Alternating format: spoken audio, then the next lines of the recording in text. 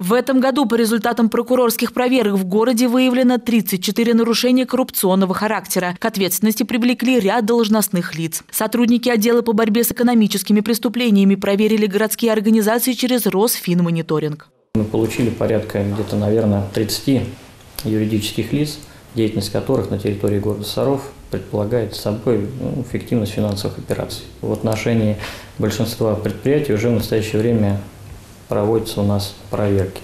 По результатам этих проверок уже заведено два уголовных дела по статье «Незаконное создание юридического лица». Предприимчивые граждане оформляют документы на подставного человека и тем самым пытаются уйти от уплаты налогов. Такие действия попадают еще под одну статью Уголовного кодекса, которая грозит нарушителю реальным сроком лишения свободы. Когда вот то юридическое лицо, которое было эффективно да, зарегистрировано, оформлено, после этого составляется определенный набор фиктивных документов для перечисления денежных средств. Это счета, фактуры, да, товарные накладные изготавливаются.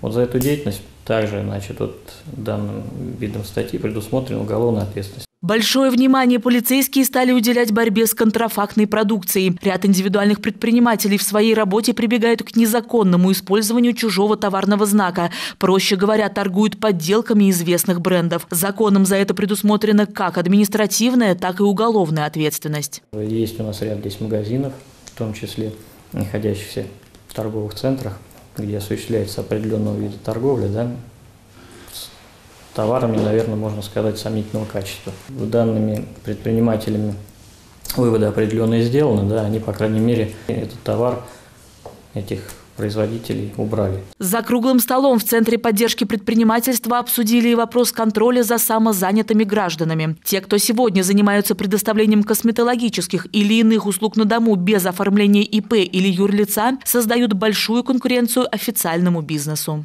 Есть ответственность как административные за данный вид незаконной предпринимательской деятельности, так и уголовные.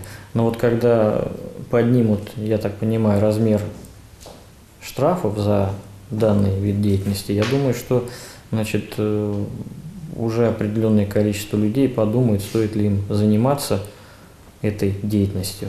Все вопросы, рассмотренные на встрече, представители прокуратуры и полиции приняли к сведению. В отдельных случаях ситуации будут рассмотрены в индивидуальном порядке. Дарья Цапарыгина, Константин Островский, Сергей Рябов, Служба новостей Саров, 24.